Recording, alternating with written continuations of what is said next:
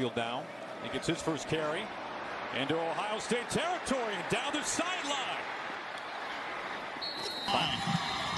It's Scott to take the snap. Straight ahead. Touchdown!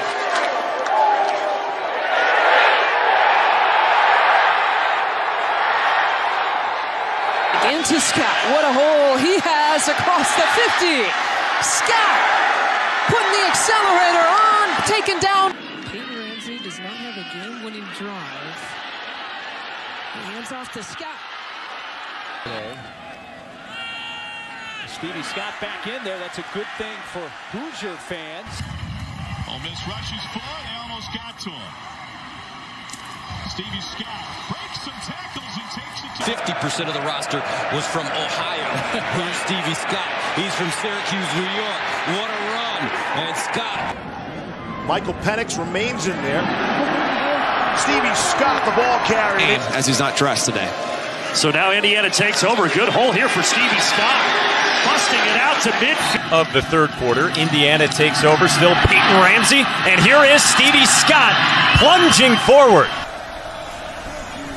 Stevie Scott, a wide open lane to the five. 100 yards through the air in the first half. Swing it out. Scott on his way inside the 30. Trying to get a chunk of it back. Stevie Scott, big hole.